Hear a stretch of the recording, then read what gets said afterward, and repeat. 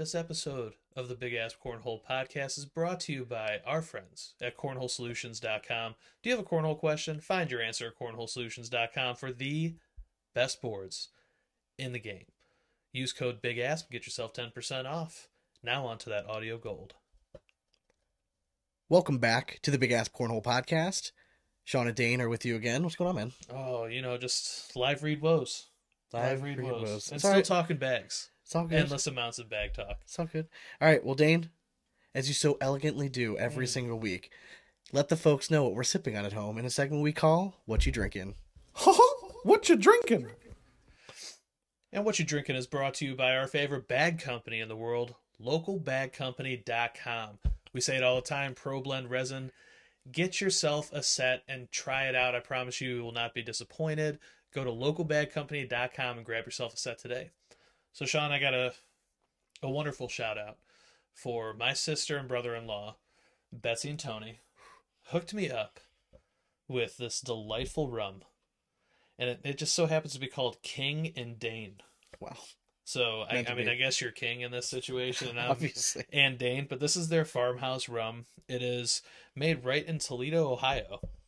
Um, ba- from their website, it says that it's uh, birthed from the sweat of the farmers from Toledo, and uh, it does not taste that way. It's quite delightful. I'm not a huge rum guy, but it goes down smooth. It, it's not bad. Yeah, I'm I'm a fan. It's 90 proof. Um, You're very clearly a drinkable. fan if you've gone through a bunch already. Uh, yeah, I've been drinking it uh, pretty fast, pretty fast. Um, This So, episode could get again, good.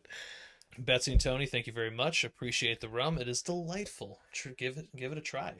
Well, cornhole peeps. All right, we obviously have more audio gold planned for you all today. What? Today is going to be um, kind of like a bracket bonanza, if you would. Uh, we're going to recap the results from the Louisville Open. Part of me wishes I had like a Pee Wee Herman horn for like bracket bonanza. You know, Sorry. like day, like word of the day. so we have Ah! anyway. So we're going to recap. we're going to recap the results from the the seventh ACL Open this past week. We are going to. We have a few. Uh, we have a shot of the week, and we also have a few like honorable mentions. We're going to go over, and then we're going to set up the best of the bags bracket. We're going to talk about the slow bag. So this year we set up the slow versus fast bag. Mhm. before this episode started, Dane and I actually drafted the slow bag. So we're going to just briefly touch on which bags were kind of our top seed and go over the rules and how it's going to start. And it's actually going to kick off. Um, well, if you're listening to it on Wednesday, it's going to kick off today, this very afternoon, at right around 12 o'clock. Sweet. Well, Dane, before we get into all the fun, Mhm. let's know what the folks know what we're doing in our cornhole lives in a segment we call In and Around the Hole. Are you too good for your home? Answer me! As always, this is brought to you by Airwolf Athletics, helping athletes become the alpha in all aspects of life, specifically your headwear. Go to airwolfathletics.com, use code BIGASP and get yourself 10% off. When you think of 21, you think of two things. You think of cornhole, you think of blackjack. You put them together, you get blackjack cornhole, the home of the sexiest looking bags around. If you go to blackjack cornhole, you're going to get free shipping, amazing customer service, and some sexy looking bags. It's really a no brainer. Go to blackjackcornhole.com. If you use code BIGASP, you're going to save yourself 10%. Wow. Wow. All the savings. All right. So, uh, did you throw it all? I mean, obviously you have league, I so you league- actually get to yeah, throw. So, So, so got to throw in that. Um, you know, just another week of ups and downs, man. Like had some really good games, had some really bad games, and uh, I'm just quickly learning that my consistency is out the window right now. But when I find it, I mean, it's, what what have you guys been like throwing? time of old. We're throwing right now. We're throwing the WTF Bravo. Okay. Um, just because Tom likes to throw that Viking. Okay. Um, It's so it's pretty much the same yeah. same bag with a different little bit of different fill. Uh, I mean, honestly, both of us are kind of like if one's on, the other one's not. So we're we're trying to work on that now. We also had games where both of us were off, and uh, yeah, we shouldn't have stepped up to the boards. But all in all, it's starting to come back slowly but surely. So I'm I'm slightly happy where I'm at now. I wish it would progress a little bit faster, but I'm getting there. I'm so getting there. Wednesday and Thursday last week pretty slow, you know, crappy weather and stuff like that. Um, so I actually got to throw quite a bit at work. Just busted out the boards. I was caught up on everything. I'm like, screw it. So you know, set up the boards in our main lobby, or because it's just me in the office. Um, on Thursday, I had to bring my daughter to work. She wanted to. it wasn't bring your daughter. It wasn't. day. It was just fucking daycare. she was a nightmare. Um, but I'd bring her to work and she saw the boards there and she's like, I want to play cornhole. I'm like, listen, there's no one else in the office. If you want to throw whatever. So I'd set her up like 10 feet away. Mhm. She's throwing. Yeah, she has no idea what she's doing. She's Yeah. four right now. But I was, she wanted me to play with her. So I was throwing like 10 from 10 feet away and I was just focusing on just release. Yeah. And then when I went back out and threw full distance, I felt like it made the world a difference. Well, maybe that's your training. I. I really, I, I, I just, I feel so if, if you're, if you're struggling, right, and you're just like your game is completely off, it worked for me. At least it, it got something right. I don't know what it was, but I just threw from like 10, 12 feet away. Just really working on spinning the bag, not throwing it overly hard, just making sure it came out of my hand flat, making sure that it was just, you know, repetition over and over and over again. When I went back out there, really it's just a bigger backswing for me. It's same follow through. I felt like I was spinning the bag a lot nicer. Um, so it seemed to help. Um, through a lot of the, we're gonna be doing an ultra bag review coming up. Um, I know this week I'm gonna be throwing a lot of mother shucker bags. I'm pretty excited. I've heard really good things about them. oh, they're nice. Um, so I know you threw them last week, I so I'm did. gonna throw them this week. Um, so those are some of the bags we have coming up. But uh, we also have burley bags coming up. Heck yeah. Um, but yeah, um, on Friday night, as a shout out to our Patreon members, we hosted like a kind of like a happy hour That we did on. Friday night. It was a fucking banger. You ended up leaving at, It was like twelve thirty. so we ended up closing up shop right around two. Jesus. I mean, I wish I could have stayed. I should not have planned to do things the following morning because I Um, definitely should have. It was nice. It was a nice mix. It was uh, it was a good time. Um, we had a pro Nick Williams uh, stopped by. Heck We had Josh Zeller. We had. And I felt um, so bad 'cause I like I didn't realize that Nick was a pro. I thought he was PDC. No, yeah, um, he- I recognize the name, but I mean, after uh, after talking with him, I'm excited to watch him throw some more this year. We had uh, Hunter Richmond. He is the uh, maker of Burley Bags, so he hopped on. He hit me up around, I think it was like nine o'clock his time. He's West Coast, Yeah, and he's like, "Are you guys still on the Zoom call?" I'm like, "Oh yeah, we're not, we're not going anywhere." So We're come still on. rolling. So he hopped on. Um, yeah, it was. Uh, I think all in all, we had like eight or nine people hop on. It was a good Mhm. conversation. Um, talked about a, a variety of different things. oh yeah, Um, it was it just happened to be like right as we were getting on the Zoom call. Um, some like breaking news happened that um, AJ Sims announced that he was leaving TC Boards Mhm. and he is now signed with Buffalo Boards. Um, I reached out to Josh Gross. He um, is also going to be leaving TC. I'm not going to say who he's signing with yet. I'll let Josh make that announcement himself um, when he feels like the time is right. But um, yeah, something happened. Um, I don't know all the details. I reached out to Cody from TC Bags, and he said that it was some sort of breach of contract, if you would. So, um, so they decided to go separate ways. So, TC Boards went from having a stacked lineup with Powers and Ruben, Gross and Sims, pretty good core Mhm. players, and now they don't have anybody. So, I mean, to me, it was like they were starting the building blocks of what Fire did the year before. yeah, I mean, they were And, trying. I mean, they were yeah. going right there, but uh, it some didn't stuff work happened. out. Um, they still make great bags though. Um, So, can't uh, shy away from that. few shout outs before we do anything. First one, if you are watching this on YouTube, you see our sexy new banner behind us. Shout out to Jeremy Hilliard. oh, Thank you very much, man. If you're looking for some banners made, I mean, this, I mean, I don't think the camera is doing the colors It's not doing it justice. justice on this, Yeah, but it worked perfectly for us. It's exactly what I was looking for. I'm already for. trying to find a way to like incorporate incorporate into the big ass little bar. Yeah. Or little little ass bar, whatever Yeah, the hell yeah. we call that thing. yeah, the um, little ass bar. The little Yeah. ass bar. Um, so that'll that'll definitely happen. I just Jeremy is also the out. owner of uh, 1010 Cornhole. So, Yes, great. Um, but yeah, I mean, does print beautiful print work. I mean, it was really good stuff. So, Jeremy, shout out to you. Thank you very much. Um, I actually I'll- saw him at League. did you really? Yeah, Oh, I haven't seen just, him in a uh, minute. he, so, he popped by, and uh, it was it was a delight because I haven't seen him in like a year. I also wanted to give a quick shout out. So, um, we mentioned it briefly last time. The reason we didn't mention it as long is because two weeks ago we thought we had recorded this whole episode. The mics weren't working, the computer was not cooperating, so we lost all of it. So all we had was the interview.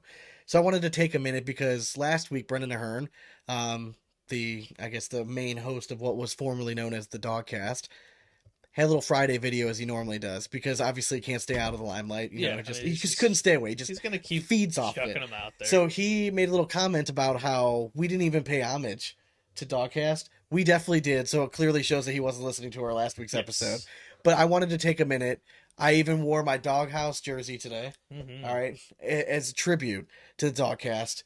We thank you for everything you did for us in the very beginning. We're sad to see you go. I always look forward to listening to you guys chop it up. Um, I'm looking forward to see what Donnie has planned. I think he's starting to start like a YouTube channel. So make sure you follow uh, the Voice of Cornhole on Facebook and follow along with all what he's doing. But um, what we thought would be a solid tribute, since you feel like we left you out, we're gonna bring up um, just for like, the next little bit. We want to bring up like our favorite moments from the Dogcast. So just uh, here it is.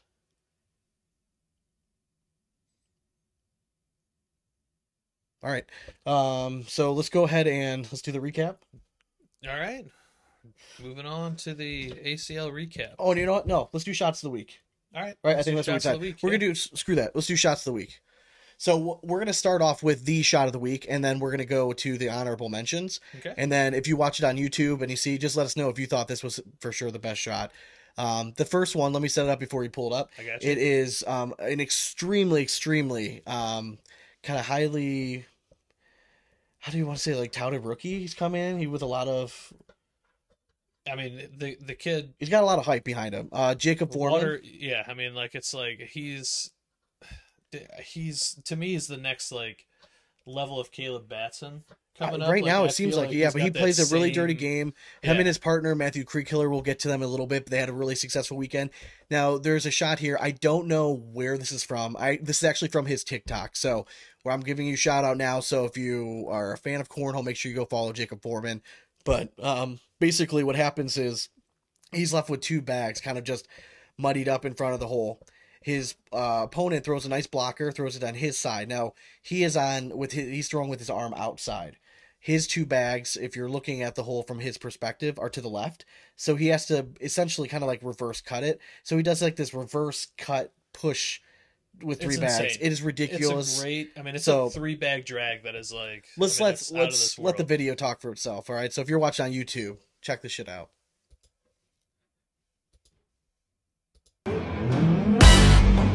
First bag goes in the hole by his opponent.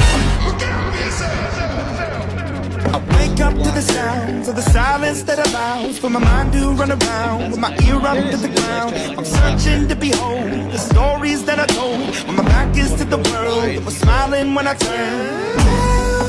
Tries to push him down. He definitely came out of time. He even landed on that line. He landed on like this. So basically, what happened?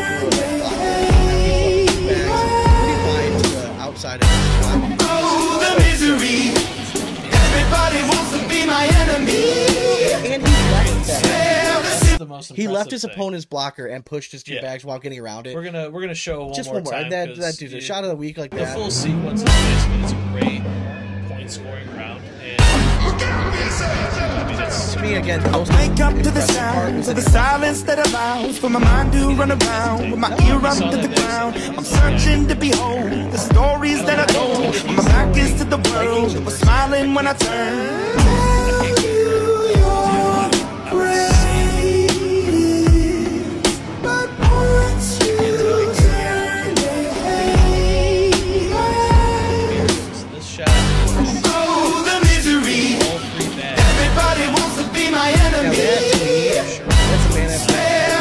Can't cut the bag the other way.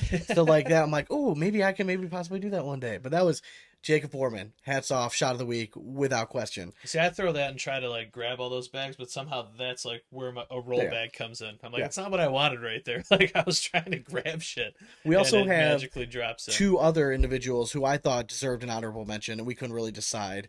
Um, so we're gonna show you both of them. The first one, are we pulling up Taco? Yeah. All right. So this is Taco Um, he is gonna be playing with his son Steve Uchiha. Um, so his first bag, he leaves it short. All right, short, way, way right in the way. So he's gonna have to I climb. would leave it. I would leave it there. You would most people would just say just leave that bag there. Yeah, hook. like level two Hook. like that far down. And he just Yeah. throws the nastiest cut push shot. I mean, where he has to push that bag a good eight inches up into the show, hole. I'm gonna show that one again. I'm sorry, I'm showing the wrong one.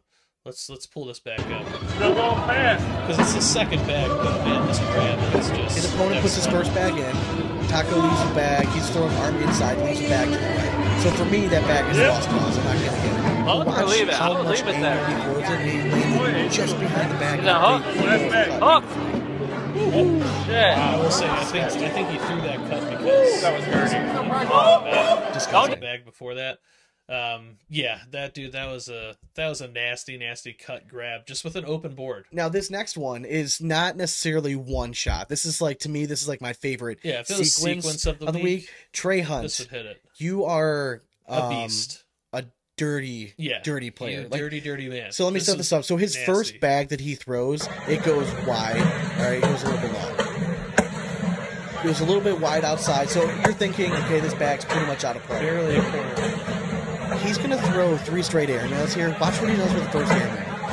He throws his first one and hits it just enough to spin a corner of the bag. Now it's hanging over.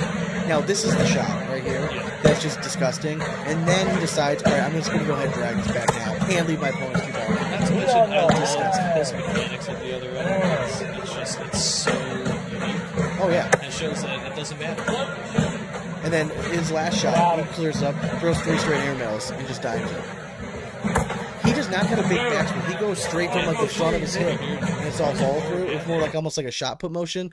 But when I saw that, I couldn't believe that he was able to bring that bag back. Now that ended up being a 12-12 wash It was ridiculous. in that round. Yeah. The fact that he was able to bring that first bag back, I if I would have thrown that bag, instantly in my mind is that is lost. The What I would love to know- that back in. I would love. I want to keep We're that show video it one more because I want to get Trey on the show, and I want him to walk us through. Were he, was that second bag intentional?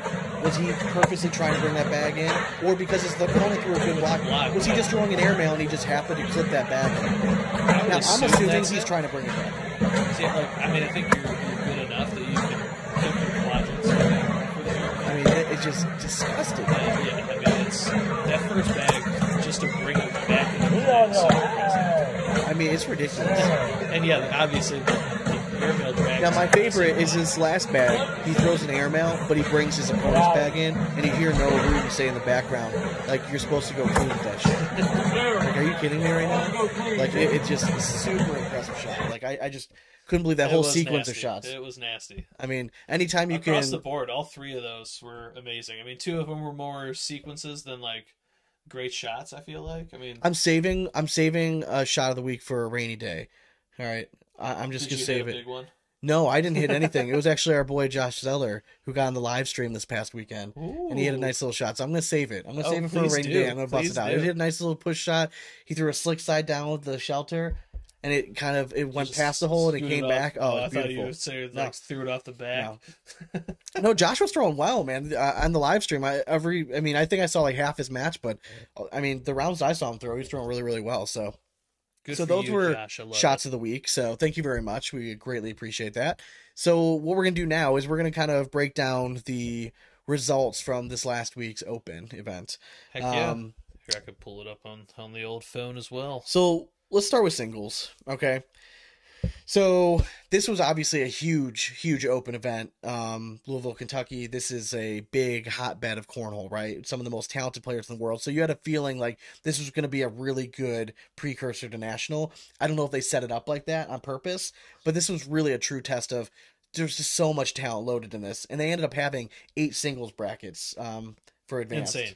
Yeah. I mean, just a lot of advanced players. So tons and tons. So the fact is, like, even if you if you won your bracket, it's super impressive at this one. Coming out on top, ACL rookie Mark Richards. I've been hearing about the guy. I'd never seen him throw. I got to see several of his games this weekend. The dude's the real deal. Sean, you'll never guess who he beat to win the championship. Uh, I I will guess Matt Guy. Um, and it was Is he just gonna be a bridesmaid this year or something? fourth Like, time fourth time in a row. Insane. second That place. consistency is just insane, and like you can't even say he's not throwing his best on the main stage. Now I this week This week was he did not. Yeah, it was not his Um, best, but like we've seen these other these other matchups. He's throwing so well right now. It's So- it's insane. So I listened to the ACL's podcast, right? It's like driving. I was bored. I needed something like clean to listen to in the car, like while the kids were there. So I was listening to it, and they brought up the fact, like, is it a curse? And Trey's like, well, it's not like a second place curse, but it's like curse because you bring out like the best in your opponent. It's still a curse. You know yeah, I mean? Like that's one of the things that he's gonna have to deal with, not just this year, but the rest of his career. When people go up against Matt Guy, They that's their Super Bowl. Like I used to when I coached, I used to tell like our team if we knew we were better than the other team, one thing that I tell our guys be like, this is the other team's Super Bowl. Don't let them win. Like don't let them have their moment. And for the 99% of the time, Matt Guy's done it. Like he can waltz right through for whatever reason on that main stage. His opponent has really locked in. Yeah, Now, even if Matt Guy was throwing occasion. his A game from that weekend with how well Mark Richards was throwing, I mean, I think he averaged like an 11.3 or something. Yeah. He was, I mean, the guy was not missing. So I think it would have been a very long game, but who, I, the way Richards was throwing, he might have still come out on top. Mhm. Richards is lefty. It just looks nice coming out of his hand again because he's lefty and it's almost like cheating. Um, I, Matt Guy just maybe ran out a little bit of gas. I mean, it's a long day. it was something that we brought to the attention of you know the ACL when Matt was first coming in Yeah. was how long that these events were. Like maybe he's taken the steps to condition his body a little bit better. Yeah. Maybe he should have taken just a little bit more of a step. I'm almost wondering that like obviously he wasn't going to skip this open, but like he's gone to like most of these opens. Yeah, I mean, Like should you just let yourself rest and I- like I- not do the I wear and tear of travel right before that- nationals? I can imagine that Matt's like not. Well, this one wasn't really that far for. No, him, no, that's what I'm saying. so- Like obviously he wasn't going to skip this yeah, one. Like it's a good see tune-up him match. not even throwing a bag until he shows up in Vegas. Like I, Well, again, I, what I was happy with is that he's still stepping. It's the mechanics still look the same. yeah, he's not he wasn't changing, changing Yeah, anything. not doing big changes. Which again, yeah, I think that speaks to his consistency right now. You know what also is crazy is that he was throwing, you know, his incinerators, um, you know, in singles, but in doubles they were throwing a slower carpet bag with Brett. Mhm. It's just the fact that this motherfucker can throw whatever the hell yeah, he wants. Doesn't matter it in the what's in hole. his hand. It's just unreal, man. And if you watch him, i- i- he doesn't throw a pretty bag. But it, to me, what's so uh, what's important to watch when Matt Guy throws a different type of bag is watch how deep he'll land the bag. Like if he's throwing an incinerator, he's landing at about like that middle board. If he's throwing a carpet bag, he's throwing it up like just again like another four inches higher. Like that makes all the difference in the Oh, world. yeah. But the bag still looks the same. He's just carrying it just that much further. Yep. But I mean, the guy shoots a fearless airmail. Um, but again, t- tip the cap to Mark Richards. I don't know where I consider him like in the rank of rookies. Obviously, he's got to you have to consider him pretty high if you won this Open out of all of them, because this one was just so fucking massive. Yeah, I, it really was, and yeah, I mean, it's it's it was a nice win for him, and he had a he had a really nice weekend. But when it comes to like all the rookies, I, to me, we we got to see the first national under the belt. It's a whole different ball game. Um, Mhm. Yeah, I mean the opens are pretty tightly packed, but when you look at the pro field, I mean that tight pack gets a whole lot tighter at a national, and it's I mean that gauntlet. We were alluding to the the national brackets that we saw, dude. I mean it's it's unbelievable the talent across the board in these. Tied for third place was Matthew Creekkiller and Eric Davis. Um, I'm happy to see Eric Davis kind of rounding They the form. They were a fun team to watch. Yeah. like th- those two are fun. Um, Like, Matthew Creekkiller is the real deal. Yeah. Um, I got to see several of his matches this week. Um, I watched him. I'm trying to remember who specifically it was, but he visibly was frustrating some individuals. Like he he just throws a really dirty game, but he cleans up the board so well with that last bag. Like he he can just push like a monster, throwing slick side down. He's fearless. He can flop and roll and do all the like the young game, you know, the young guys style game. But again, he throws a really high PPR, so that makes him pretty dangerous going into the season. yeah, I wonder if again sometimes like that mental aspect comes into it. I watched the game uh, where Matt Guy advanced to the finals and he had to play Matthew Creekkiller. Creekkiller, uh, Matt Guy just took care of business because Creekkiller laid down a block. He's playing his game, but what does Matt Guy do? Fucking airmails, and if you miss one blocker to the side, he's gonna put twelve, and you know you're giving up at least two. yeah. And as the game went on, he started pressing a little bit, missing his push shots a little bit wide, and then instead of two, he's giving up four. Like I mean, that's what he's that's susceptible to game, that. though. Well, that's what I'm saying. He's just a little susceptible to that, Yeah. and that's where I know everyone's so excited about like this rookie class and everything. I think when it comes down to it, early in the season at this first national, I know a lot of people are expecting big things from the rookies. I think in general, we're gonna see some of the veteran just because they're used to that mentality. They're used to the stage because a nat- the, people have said it before, right? You've heard Trey say it. A national is different. Yeah, it's it's Than an open. entirely different. And The mindset, everyone's got their game face on, like everyone's ready to rock and roll. there's a select few rookies that I see having success right off the bat, and, and we've mentioned them. On the show Mark. Mark Richards is actually one of them because I think he. We're gonna go over the brackets for the national Mark on Richards next week's episode. to me as He's well, got an excellent draw, I thought. So he's actually one that I think could make a pretty deep run. But he's also he's also put bags in the hole kind of guy. Yeah. A lot of these young rookies coming out with the that roll flop, you know, do fancy stuff. Yeah, it's gonna manufacture points, but if you start missing, it's a it's a steep decline. Like if you you miss a couple of those shots, then next thing you know, you're two losses and out. Now I would when be. it comes to a national. I guess I'm just saying I would expect I there's going to be one or two, maybe even three rookies that do well, right? Mm-hmm. Do I expect like the final four? Like do I expect there to be like three rookie bracket winners? No, I don't. Maybe one out of the four. But it would surprise me if one of those rookies was someone that plays that like true, true, dirty, dirty game. It's just hard, man. Yeah, cuz I feel like sometimes the margin of error is a little bit Because small. there's, I there's so many of those in betweeners, like a, a Noah Almanza who has the shot in his arsenal, but Yeah. at the end of the day, he wants to just put four bags in. Guys like that to me are going to have more success at the national level because when they start just pouring bags in on certain opponents, they can put the pressure on them as opposed to just always trying to manufacture points. Because you're when you're trying to manufacture points, you come across somebody that's hot. It doesn't matter what you do. going in right now just through opens. Is Almanza rookie of the year right now? Is he the front runner in your mind? After this last one, yes, because he still had Yeah. he had a great showing again. I think he took second in his bracket. Yeah, and I, I think and him and Morse did well in doubles. I believe he's been they- he took I think they were first, and I think- second or third in their bracket. in I think he's had a first and like three third or three second places in the brackets. Um, yeah, I think right now he's the front runner. Before the season started, I think it's funny because when we were in Cincinnati for the first uh, like uh, with a second or third open, yeah. no one really knew who he was. No, I mean we we knew a little bit about him. We knew he was pretty good, but like until we saw him throw was when we were like, oh, We that- I that knew he was really real good was deal. when I went to when we went to Cetos uh yes events. yes, That's is when I got yeah. to see him throw.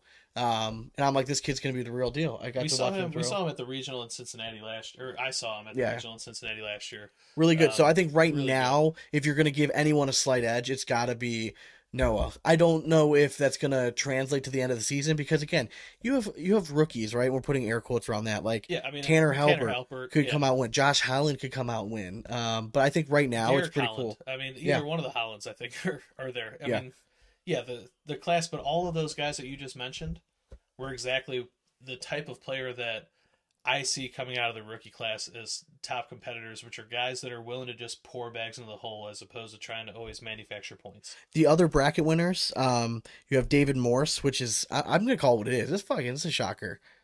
Hey, he's he. I, I read his post and he said that he's been taking the time to actually like really practice and it's turning on. And dude, at the end of the day, he's a pro. If No, I, yeah, I'm just saying. if but if you were nearly that often and now he is, maybe he. if you were asking people, I'm just all I'm, I, this is not a shot at anybody. I'm just saying if you were looking at the bracket and you had to pick a winner, there's not there were not many people besides maybe his mom and dad they were picking him to win that Shit, I don't even think Dave would have picked himself at the start. But hey, you know, Listen, get hot at the right time. I mean, exactly. You're about to walk into the first national. Let it ride, bud. Like you're one of our perhaps next to Matt Guy, I think the hottest player in cornhole right now is Devin Harbaugh. Yeah. Um, he's going to be right at the top of my list to win the national number one. Mhm. Um, I haven't seen who Trey picked yet. I'll be interested to see who picked for his winner for national. I I haven't hit did they did they do their full on picks yet? I know they did. He like well, he does his uh early season preview, which those will be coming out for us as well. No, he did his um his first national preview. I just haven't had a chance to read it. I just went Yeah, I in. I, it scrolled. either. I just read his. uh I just got to the bracket link.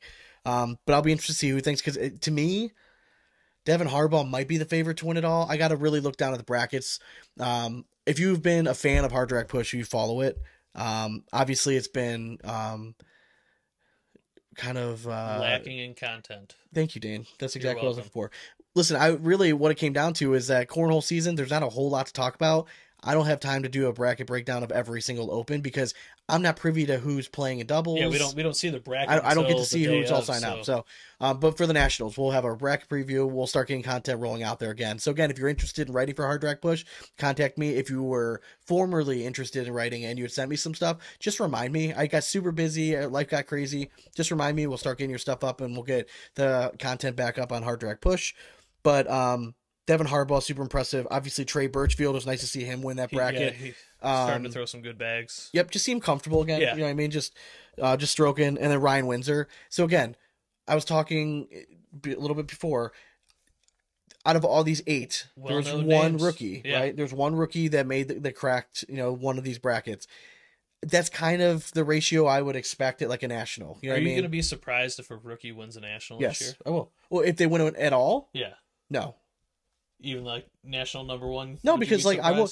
Would you be shocked if Tanner Halpert No, or Josh Holland like, won? That's no, where no. I'm sitting. It's the same way saying- last year when we're like, if if rookie Matt Guy comes in and wins one, it's it's the same deal. These guys have been around the block. They've like been if all these tournaments. let's say like, Mark Richards, right? Let's use him. He's Yeah. fresh off throwing fucking absolute out of his mind. If he came and he won the first national, would I be surprised? I would be. Yeah, I'd be surprised just because it's his very first national, first year as a pro. I, I think there's a little bit of learning curve. Fuck, look at Eric Davis and Brett Guy last year. Mhm. Their first national, they were hot trash. yeah, I'm not saying you can't turn it around and then we're not going to see it later, but I'm just thinking this first time, I think experience is going to play a big factor. I think it's easy for everyone to get caught up in the hype and be so excited for these new players. Now, doubles different game. If there was a rookie player playing with somebody experienced, I think that's more likely than if we see somebody just rip off a bunch of wins. Because I tell you what, I don't see Matt Guy losing this one. I I've been saying it uh, all last year was a fucking. Uh, it was just uh, an anomaly. no I one's think- been more consistent this season than Matt Guy. I think he is sick and tired of hearing everyone talk about him taking second place. The dude has made five straight finals. I, he has one win Yeah. in singles and then four straight second place. I mean, I just don't. I eventually is gonna it's gonna It's break gonna through. crack. He's gonna win a national. Why shouldn't it be the first one when he's throwing better than anyone else in the country You know, right now? The difference with the national too is like you have that break Yeah. before the finals. Oh, by the way, if you haven't seen the match, I thought the best match of the whole weekend was Matt Guy and Devin Harbaugh. I believe it was. I watched it on the Windsor Bag Company page. So if you want to check out one hell of a match where two guys who are just amazing at the at throwing bags, go watch that fucking match. Um, I believe Matt Guy averaged like an eleven point three. Devin Harbaugh averaged like a ten eight six. Um, and it was really because like Devin had, I think his last round he had like he had to do something crazy and he got like a five, so that really lowered his average. But for the most part, I mean, hell, Damn. even for Devin throwing a 10-8-6, I mean, for his style of game, that's insane. That means that he was dragging stuff and pulling airmails like it was nothing. So let's see, um, second in the brackets, right? We have uh, Josh Holland, Craig Irvin, really talented player. Um, Joe Niestedt, he's a guy out of Michigan who he's made a little bit of noise here and there. Is he going to be able to stay hot? It was interesting because I believe I saw him post something on Facebook saying that like he wasn't throwing that well. Obviously, he figured it Yeah, out in time for this one, so had a really nice showing. A little self-doubt will go along. The best dressed man in cornhole, Bob Vonch. Uh, yeah. We had uh, Ryan Wendfeld, Weidfeld. I'm not familiar with him at all, but congrats, Ryan. Berkeley Pear. Again, I think he's a dark horse to to win Rookie of the Year. Um, we know how good he can be. I Let's mean, if honestly, can put it looking at the brackets, him and uh, for doubles, um, they were very close to cracking through. Yeah. Um, I, I think it was uh, they had one. I saw their their match that they lost to to knock him out, and it was. I mean, it was it was a good match. I mean, they're they're throwing really well. He's throwing with uh, Langworthy. Yep. And dude, I mean, they're they're throwing really well. Berkeley pair. He's he's a tough one in singles, but those two together in doubles, it will not surprise me to see them win a bracket or two Yeah. throughout these nationals. Uh, you had Noel Manza and then Nate Stevens rounded out all the second place brackets. So if you're looking at the top two people in all the brackets going through, I mean, for the most part, it's a who's who is like Oh, yeah. name wise. I mean, it's it's pretty stacked. Now again, you get to these national events, I get it. I posted something today about um, the national brackets were posted. All I did was put bracket D, I emoji, and so I can't remember. So I take like it the that uh. I take And it I got- Jordan Power wasn't part of bracket D. no, he something? wasn't. I mean, I was not trying to butt hurt Jordan, anybody. Calm your cheeks. Yeah, man, I was- like it wasn't a shot They're at all anybody. stacked. But I get it, yeah, we're talking about 100%. name power alone. Yes. like, dude. Look at bracket D and tell us we're not wrong. Like it's name power alone is is it's insane. listen, eh, bracket D, yeah, there's there's a lot of big names in there, but it really comes down to the one sub quadrant where you have Cheyenne Renner, Matt Guy, Jeff Reynolds, and Alex Rawls. One of those two is going to go 0 and 2. Yeah. I mean, that's I mean which that's insane to think. And about. I looked through, I went through all the brackets today, and I just was looking for a group of four. Where who else could compete with that? Like, is there someone else? Because like you know, they're right. Like all these nationals are stacked. None of them have quite that name power. Like maybe three out of the four were really good. Mhm. Um, but one of those guys going zero and two, so it's it's gonna be pretty interesting. Because not for this national, but for the next national for seedings. Yep. So it's gonna be pretty Yeah, interesting. down the line. I mean, it's someone's going to have a really hard draw right off the rip, but sometimes that benefits people. They get the hard ones out of the way early, and then they just let it coast all the way like to the finish. You know what? Also, I was happy about the payouts. Payouts were Payouts were nice. Mark Very Richards nice. walks away with twenty five hundred. Matt Guy with twelve hundred. We're getting makes there. it It's makes better. it Better. worth it for the weekend. Hell yeah. doubles. All right, Jamie Graham, Jordan Power. They beat out Trey Birchfield and Stephen Bernasette. I gotta say, I loved watching Trey and Stephen play together. Dude, right? They, were They man, they just they really seem like they gelled Not well. to turn away from Power and Graham, but we already saw you guys play together. But those two, yeah, I thought they played really well. they to- played really nice all day. together. But yeah, Jamie Graham, Jordan Power, they match well together. What. I'm interested in they have is very similar games. I believe this is the last year that Graham and Matt Guy are under contract where they have to throw together. Recently announced was that Trevor Brooks is now a pro Yeah. next year. And it just makes it interesting. Does Jamie Graham go that route? Maybe does he go back to Trevor Brooks? Because to me, Jamie Graham's a relatively calm dude, but it seems like he kind of likes having he some likes fire on the other side. It gets him. He doesn't want to be the one fired. to initiate the fire, but when he when someone's yelling the fire back to him, he's a totally different animal. Like I say, I I like Jordan. I really like watching the kid. I know Yeah. some people think he's cocky. I love it. Like one hundred This is a- percent. I love it. They're playing a pro sport. Like Oh, since when is cockiness frowned upon in a pro sport? When you have the talent to back it. I'm sorry, but anyone that's a Jordan fan, like not just Jordan Power, but Michael Jordan.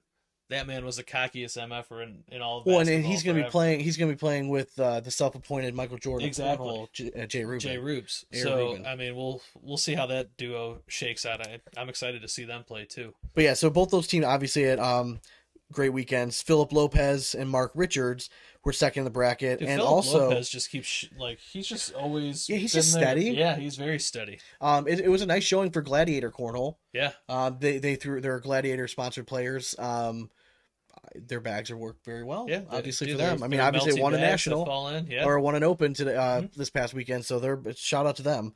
Um, also second in the bracket was Jacob Foreman and Matthew Crickkiller, who I think had a lot of pressure on them going into this one just because they had so much hype. Where if they would have come in and taken like a seventh or like a ninth in the bracket, I think there might have been like some disappointed people. yeah. Or maybe they didn't live up to the expectation.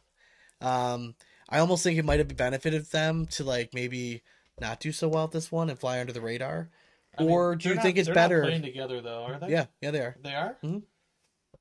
Yeah, they're pro partners. So does it or does it benefit them more? Hey, no, we're gonna we're gonna go show what we can do, and now we're gonna be in everyone's head because they, everyone knows we're that good. I mean, there's two sides to every coin. But super impressed. They both play very uh very similar games. They honestly, it's kind of hard to tell if like they're far away from you on the board, like which one's which. They're both big dudes. Yeah, I Um, mean, you were showing me the shot of the week, and I I thought it was Creek Killer. Yeah, but it, all in all, it was. Um, they had a very nice showing. They're super talented kids. Um, I'm hoping that they'll be. I'm, I'm assuming they'll be Kansas City Open because I think they're from that area. Hoping to talk to them a little bit, just to get to know them just a little bit. But Yeah, I mean, I've I've never had a conversation with them. I don't think they've been to anything that we've been to yet. Jacob Foreman and his dad That's right. were on the broadcast in Erie Yeah. when we were uh, live. Uh, that was the I first time. I'd seen yeah, him. I forgot about uh that he was playing with his dad in that one. That's right. Uh, who else? Let's see. David Morris and Noel Monza, third in the bracket. So again, those two, um, I mean, top to bottom, had some of the best weekends. Next to maybe like Jordan Power, who also took third in singles. Uh, Trey Birchfield, obviously, he won his bracket. So all those names are right up there. Frank Modlin, Austin Schlobaum. We've been saying this since the beginning. Frank Modlin, not throwing his best in singles, but if he can find it and Austin plays his game, again, they're going to be trouble. They're going to be one of those new pairs. Like I talked about before, I wouldn't be surprised if a rookie won doubles if he was paired with like a veteran player.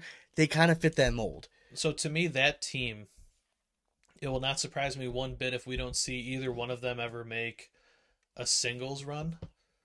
But for some reason, they're both such good doubles players. Yeah. and that they're paired together, it would not surprise me. Like if they take one or two of these home because they are great doubles. But for singles, like you said, Frank's struggling a little bit. I think Schlobaum's a very, very good player, but when he's just going from one side, he locks into a different dimension that I've noticed. So again, there's something to be said about doubles royalty. Yeah. And I think those two are definitely part of that. Uh, we have Team Local, not Hisner and Henderson, Langworthy and Berkeley pair, who tied fourth in their bracket. We also had Eric Anderson, Jimmy Humans, who made an interesting pair. They played really well together. Um, Last minute. I mean, those two Yeah, I mean, hit they- each they other played up really on, well. on Thursday night, and they, I was like, they're at league, and EA was there selling some of his HBC stuff, and he was like, "Hey, guess what? I'm going to the the Open." I'm like, "Uh, "You told me you weren't when I first walked in." Yeah. He's like, "No, humans hit me up. I'm going to go with them." I'm like, "Oh, all right, Yeah. that works. That's that's a great pairing." And yeah, I mean, it worked out. I, I didn't see what bags they were throwing though. they started off with Warlocks and then they switched to Vikings. Okay. Yeah. I, I could see. Yeah, Vikings to me are definitely more human speed more so than EA because EA's been throwing the hell out of those Yeah. warlocks. So I think they threw. I don't know how many games at Rounders. I don't know if they used uh, the Warlocks all through Rounders, but I know when they got to bracket play, they were throwing Vikings. Okay. Um, Doug Zaft and Bill Hadley, uh, and then you have Geary and McGuffin. They tied fifth in their bracket. Both vets that Brett Guy, Matt, me and Brett Guy. Matt Guy also tied fifth in their bracket. Again, No, it I'm curious. Like, yeah, they took fifth in the bracket for the guys. Like, I don't know why Matt felt the need to make that post after the after that night. I don't know if you saw it, but he was saying that like Brett was feeling sick that because so something. on a Did live have to on- forfeit something. Or? no, so on a live broadcast, Brett basically like completely fell apart. Okay. Like he threw, I think, three straight bags short of the whole, short of the board. Like when the match was like, yeah, I mean, if you're feeling like hand. shit, I mean, it's definitely So Brett said that Definitely something all of a sudden came onto him. Um, it was interesting on the the ACL podcast. Trey actually kind of hinted at he didn't know if he necessarily believed Brett or he thought maybe something else was going on. I don't know. It seemed like he was sick because he came over late. Like those guys were all warming up. The three of them were warming up, and Brett came over way later. And every single time after he'd throw, he was going sitting down in the bleachers, and you could see like he was kind of like grabbing his stomach a little bit. So like I believed him. I mean, it's just, it seemed pretty sick, legit. Sick, man. I mean, Yeah. uh, he's at that level where he's not going to accept that as an excuse. Yeah. So to me, I mean, if you're if you're sick, it happens. Yeah, correct. So it sucks that it happened at that time, but yeah, I was just curious if you noticed anything because like I, I hadn't seen the match, I just saw Matt's post and I'm like, oh well, I wonder what the heck happened there. So I wanted to give a quick shout out to like um, Eric Sockline, Tanner Halper. They tied seventh. Obviously, they wish they would probably do a little higher, but they're one of those teams. I'll be interested to see how they kind of make that transition going from ACO to now playing against top level talent. Not that they ACO doesn't have top level talent, but I think that they were very top heavy. Well, it's like I mean, you're, went I mean, you're going to be facing like the best through, like, a ACO player last every year. fucking Yeah. every week, every every basically every match. You're going to be playing that level. So does that team ride or die on Easy's performance? No, because Easy's been averaging a higher PPR at least. I mean, he Easy's been playing really well. Yeah, and I'm I'm happy you said that because uh, everyone I feel like thinks that Halpert is just like carrying Easy. No, Easy's No, no, throwing no. great bags right now. So I, I listen. I know I'm on record gonna- saying that I didn't think that Zockline is a top twenty player we both were, but in singles. I still don't right think now. he's going to finish top twenty. Do I? Th- I, think just- Tanner his would finish hard to translate into top Yeah. uh, top twenty in these days. But like those two as a duo, if they don't if they don't like place in a top Yeah. three in a national, I will be very surprised. I also wanted to give one final shout out to another team that tied seventh in the bracket, Chucky Love and Timmy Jonas. They've been playing really well Ooh, together. I'm telling you. Um, I mean, I, they can make some noise, man. Like they're going to be one of those sneaky teams that somebody might Timmy is throwing. He's back to throwing really well again. well, Um, and so I love Chucky Love's been Chucky, I throwing mean, out of his mind. Chucky recently. finally found the Reynolds bag for him. Oh man, he. The, I mean, he, he throws that typhoon slick side down better than like anyone I've seen out there. I mean, he he is masterful with it, and Timmy loves that stick side of that bag because Yeah. it's basically the the shelter that Yeah. he throws in singles. Yeah, I'm excited to see what those two do. Timmy's throwing great again, so I'm very happy to see that. Yep. All right. So, well, we're not doing a bag review. We're not. Um, but the best of the bag brackets. Okay. do you want me to give the soundbite anyways? Yeah, go ahead. Sure.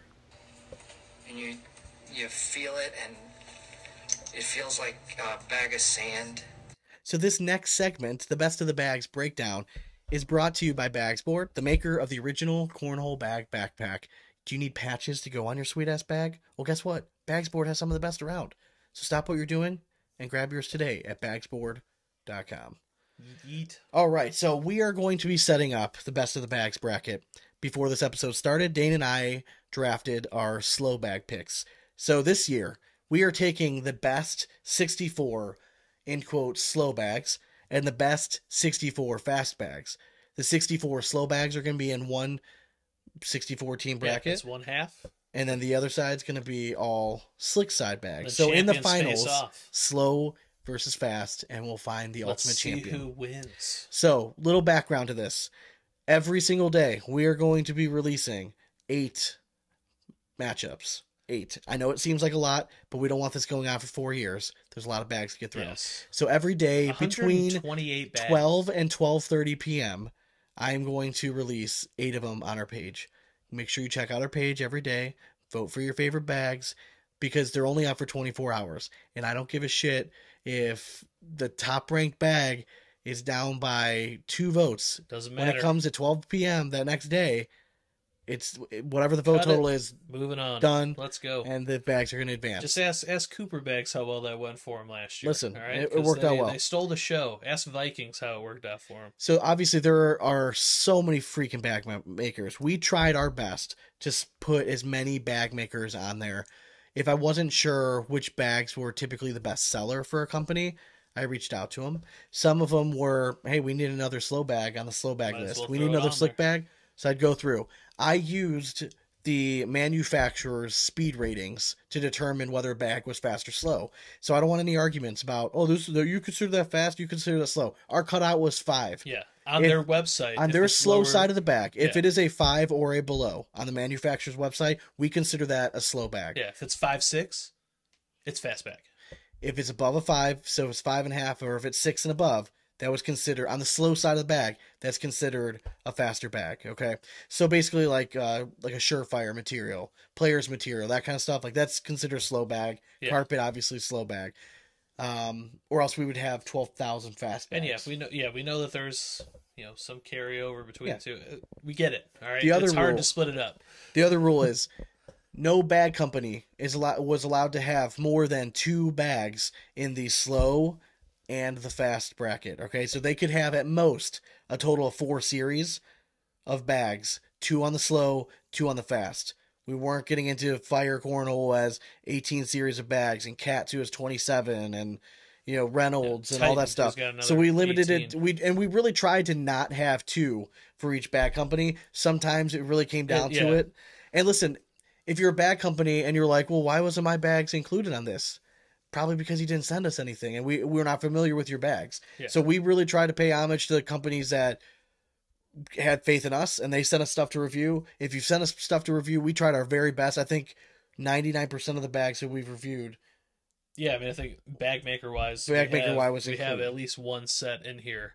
If we forgot you, no hard feelings. yeah, I'm sorry. Like we it would have gotten past both of us. Yeah, we're we're trying here. It's it's But- hard. We went through all of our episodes, looked at the bags that we did. we went through the ACL website and then we went through um, every one of our bag reviews trying to figure out which bags and which series we had done.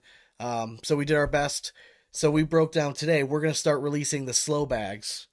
And then uh, this week, get through that bracket and then we'll bust out the fast bags. So, slow bags. Dane actually had the number one pick overall I did. In the slow bags. Who was your number one overall pick, Dane? My number one overall pick. I was shocked. Shocked. Were you really? I yeah, I was. Who did you think I was going to take? I my number one pick. No, well, I, I went with the the tried and true from last season, the bag that got done dirty by the the sob three from Cooper Bags, and in my heart last year should have been the winner of the Battle of the Bags, which was the BG Viking. I still see that bag thrown everywhere. People still love it. Don't forget about it.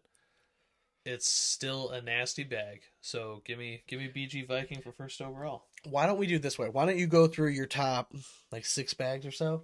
Who, Yeah, are your fir- who are your first six picks? All right, so I went with uh I went with BG Viking, Fire Vengeance, 724 Chaos, Reynolds Pro Advantage, Buffalo Boards Deadhead, and then Contraband Combat.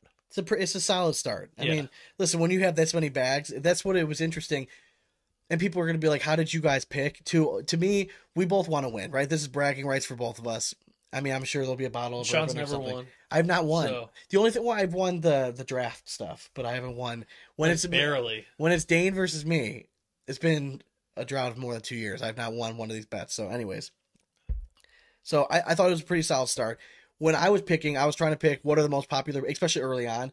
What are the popular bags? Who has like a good following of people? So I thought you did a pretty good job with that. Decent, not great, but it's awesome. I was My- going with my heart a little bit. Yeah. Okay. All right. My first pick was Lucky Bag Surefire. I think that is a a lock to go very far. It's Just one of the, the most all pop- the problems out there. Doesn't People matter. with with lucky bags and their How many times? How many? I mean, you just see surefires everywhere, right? So you I'm just trying bags. to undersell your your first pick because it was very good. I was it was a toss up between the two, honestly. And to me, I just went with I went with Viking because I thought they were done dirty last year. Yeah, we'll see. So we'll see if the the BG crew can come out strong. Should we like? Should we make a poster of like us holding a sign Yeah, and be like, we don't, like- we don't throw BG, but yeah, but like maybe vote for them. Hey, like we'll buy you bags if you send us some. Yeah, sure. Um, then that my second pick was 724 Anarchy. I think this is going to do very well. Um, I think that 724 Army um, pussied out last week or last year in the in the whole One hundred voting. percent. So I'm expect. I Listen, they got like four or five thousand members. I think I did. actually, let me pull. How many freaking members are in this group now? Because I'm gonna call them Yeah. I mean, I, I ripped off the chaos right after Sean took the anarchy because I was curious if he was going to take one that early, and then you let it rip. So There's- I had there's- to get one under the belt. five thousand five hundred members in here. Okay, in this uh, seven two four army. Okay, show up or show out. All right, you're my number two. You're my you're my second pick overall. So I'm just gonna leave it at And that. then you actually you scooped up the the battle Dude, of the bag the, the reigning champ could not believe that they were still on the board for my third pick. The reigning champion of the best of the bags bracket, Big Daddy Carnage. I mean, no brainer right, when they I'm were sorry, but I had I had more faith. no, I had more faith in the fire community now because last year for fire they were not really that big, but new things. dude. Big Daddy's just got a big it. following. I, listen, I'll, I'll roll with that And all I know day. they do, but Fire's following. I mean, they have the four best players in cornhole under their their tutelage right now. So Yeah, we'll see. We'll see. Um, the fourth pick for me was BG Wizard. Then I followed it up with Reynolds Typhoon, and then I also went in with the Fire Assault. Mhm. I like my top six pick. I think it's pretty studly. Um, I would imagine. I, I think. I mean, I, mean, I, your- even your like my next, next, bag was the Tango. My next was Ultra Widow B. So I mean, and I go me- kill shot three fifty seven, and then a slide right. I mean, I, I mean, my top like eight or nine picks are just. I mean, that's great, but I have I have two bags that are gonna shock Sean on his bracket, and that's Deadheads Yes. from Buffalo Boards, Yep. and I honestly think the Combat. We'll see how that con- contraband crew comes through, but We both. Um, you got you, you sniped Buffalo boards. I was gonna go with them pick before. I should have gone. we were actually surprised at how often we picked each other's stuff. Yeah. throughout this. Whole I I, I was really torn between BG Wizard and going Buffalo Board Deadhead. I was just I'm like you know what maybe all right I'll go with a BG bag on there, but I um, was not like I was gonna take Wizard in my top ten if it was still sitting there, and I actually like I think the Wizard might actually it could do better than the Viking. Yeah. But I just went with a namesake for the. so basically how this is going to break down is all of basically all of Dane's odd number picks are going to play my even, and all my even number picks are going to So play Dane's Sean, odd. Sean's number one's gonna face my thirty-two. Yeah. at the first, and like we'll we'll flip flop it and set that all up. Um, down the list though, I mean, dude, it's it's exciting. There's some sneaky good picks There are. later that we got in there, and I what I love about really this fun. is that people are going to vote and be like, "I've never heard about that bag." We'll go check it out. Exactly. That, that's what this is all about. I really hope the bag companies take this as the opportunity to push your stuff. Oh yeah, Tell people to go try it because like you're on this list for a reason. You're you're a good bag company and You're we worthy. respect you and worthy of being on it. So all of these bags like I wish everyone would own every uh, like one of every set of these so they could test Yeah. them out themselves, but from guys that have tested them, I would say about halfway down is when we started picking with our heart more so than with the namesakes. But some of these bags that you hear coming out, you might have never heard of them. I'm telling you, they're all worth a try. They're when really I when I bags. post the stuff on Facebook, when I post the polls every day, I'm gonna try my best to tag both companies that are involved. But again, if you don't follow our page, the Yeah, tag's not going to come tag through. So if you don't, so if you're a bag maker, you better make sure that you're following our page, or I can't get the the tag, and you might not see it up. And I'm just going to post it and leave it alone. I'll go check it 24 hours later, see who's in the lead. Um, but we haven't decided. We're not allowed to vote. I'm Deal. not voting. Yeah. Okay, all right. I'm just making sure. No, I won't vote. Yeah, that's Okay, fine. all right, fair enough. Unless there's like you know a one vote will swing it, then maybe I'll sneak on right before. No, I'm just kidding. I, I won't vote. That's fine. Uh, but yeah, it was it was fun. It was it was tough. Looking really at how many like- good bags there were on this side, slick bags. It took us longer to come up with a list than it did to pick them. yeah, But the list was that was tough, man. It you was- think because there's so many bags out there, yeah, but it wasn't even like, oh, can we come up with? No, it was more like limiting it down to this amount of bags that we wanted to pick. Well, and then too with bag manufacturers because again we wanted to try to limit. There were some companies that again we could have put like four or five different slow bags Yeah, on there, but I didn't want to do that. I wanted this to be a well-rounded competition, so we just made sure that we took the best of what that company had Yeah. to offer. And, and then there was there was some like you know on the ACL list that we never even got bags from. How can we? I've never seen them. Never. Oh, and if people How wanted to know, how did you guys decide that? what the two best sellers were? Well, um, we actually, if you're part of our Patreon page, we posted polls on like 12, 13, 14 different bag companies, and we listed all the series of bags. Which like pick two. What are your what are the two, best bags? favorites. And we would take those two that were voted on. Were definitely part of the poll every single And if you don't agree with it, become a Patreon so you can vote. Correct. Yeah, yeah, please. Yeah, I join our Patreon yeah. account, man. Like I it's mean, great. it's- like it's that we had easy that if you wanna Zoom call. part of it. We got some interaction. I dropped some insider knowledge this morning about kind of where Josh Groves might be uh, signing with next year. So, just saying, just saying, it might be on there. Um, but yeah, I had so much fun doing the Zoom call. We're definitely gonna do it again. Oh hell Um, we're we're gonna. I mean, we're gonna open it up I soon. mean, I think like at least once a month we're gonna try Yeah. to let it rip. I think next week is going to be a good opportunity because we'll have um, Brendan and Jason on after our draft. that could be. I'm going going to open it up to our Patreon members. Um, you Sucks know, our, it's on a Tuesday. I know, but we'll open it up here, and if they want to chop it up here for a few minutes afterwards, I would love to get drunk. we're gonna have to try to limit Jason and Brendan to like one song though, because you know they're gonna start singing or something. Uh, do they really have to sing on our podcast though? Because we're Yeah, the only we're the only mediocre. if you want to listen to them sing, it's actually the first bonus piece of bonus content we put up there. We were at Rock Hill last year, and we sat down at the little last bar, and Brendan Ahern, Jason McCannon, and who else was it? Mike Ferreira. Yeah. sat down all with us, and we were kind of just chopping it up. And Brendan and Jason just started singing. I don't even know who the fuck they were singing, but They just decided to start. decided to start ripping away, and it is what it is. But um, I'm excited for this ba- best of the bags bracket again. It's a great opportunity for bag companies to get their name out. There's no hard feelings based on seating or anything like that. No one's ever gotten butthurt about it before. So I mean, I, honestly, I would like imagine- if you're if you're upset where you're seated, just be happy you made it. Yeah. honestly, like it, and here, how about this? If you're not a Patreon member, I'm not going to listen to your opinion. So how about that? Like, Boom. I don't care. I don't care because guess what? You're getting this stuff for free exactly? anyway. So. Yeah, we're we're proud, trying to support you for free. But yeah, so make sure you follow us on Facebook. Um, follow it along. I'll post some reminders on Instagram and Twitter and stuff like that. But for the most part, all the stuff's gonna be on Facebook. You'll either like or heart or whatever I decide it is. Um, so that gets a little confusing, but for the most I don't part, think people like figure it will out. ever be one of the options. It's either heart or the laughing yeah, emoji. so Those you are the two actually that have heart. to scroll over Correct. so nobody can just go Because I felt like yeah, it would just get an easier Yeah, yeah, advance. we- kind of what I thought we too. we learned that from the very first run we ever did Correct. this. yeah, it Back went when from you could actually have polls on Facebook. it went which- from 16 bags, right? yeah, sixteen bags was the first one we ever did. And the all cornhole game changer won that one. Yeah. And then last year we bumped it up to 64 total. yeah, And Carnage Carnage came it. out on top. And then this year we're doubling it. Now next year we're not I think we're gonna keep it at 64 We're- yeah, we're on done each here. side. But uh, we we'll might see how even it goes. limit it down further next year depending on what the ACL Yep. does. So the first eight matchups are going to be uh, posted tomorrow, right around lunchtime. it's gonna be awesome. Yep. So excited. Awesome. All right, Is it time? it is. Cue it. Cue it.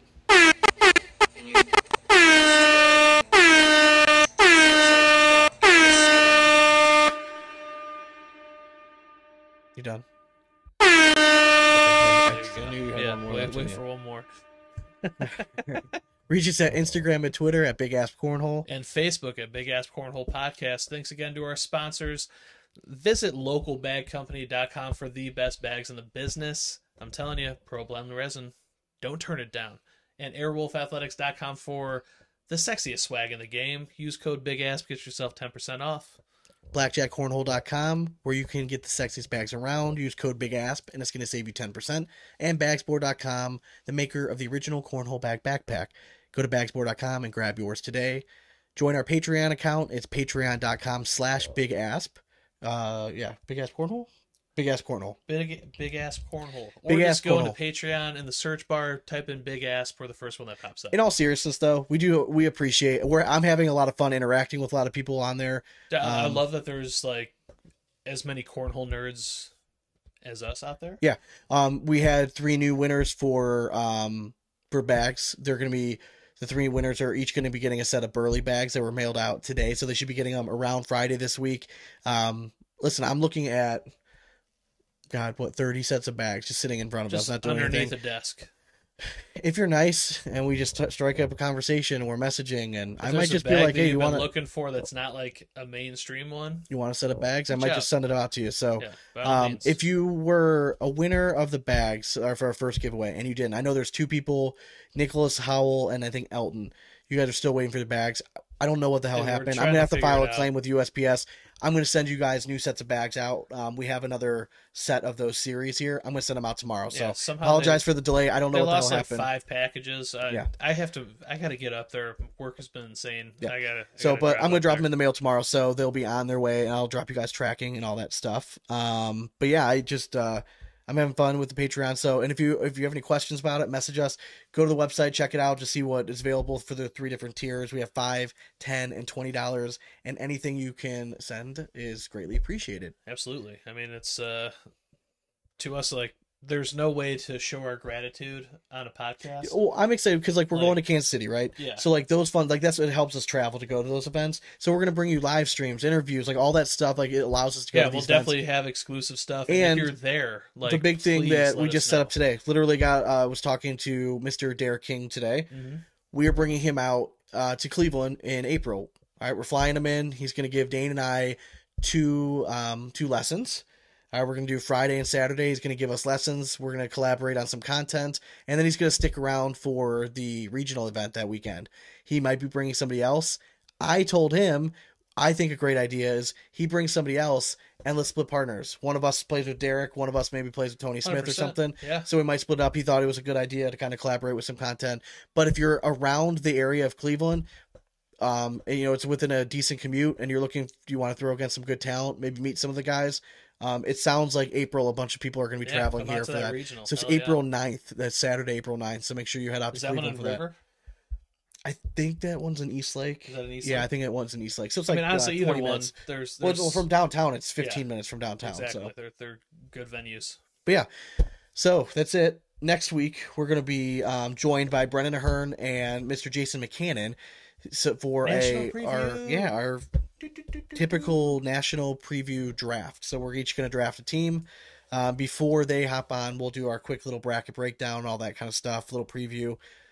Every national, we're gonna our goal is to try to bring on different guests to do like a this little draft contest thing. And we'll show you how bad everyone else is at picking Yeah. these things. So we figure this first one, Brendan misses being on the doing the podcast so much. I figured we'll we'll bring him on, man. I know you miss it, so just just come on and join us. on. I mean, Jason McCannon, he's an easy interview. He he kind of knows cornhole. I think he's a little biased sometimes. I think his whole team's going to be North Carolina and fire cornhole players. But hey, it is what it is. If he wants to lose, it's yeah, fine. leaves the rest of the fine. nation to the rest of us. I'll, That's I'll fine. take it. That's fine. But um, so yeah, I think that's it. I think that's all we got, bro. Cool. All right. Well, uh, we'll catch you again next week. So as always, we hope you throw it straight, and it's nothing but four baggers from here on out. Cornhole it. Later.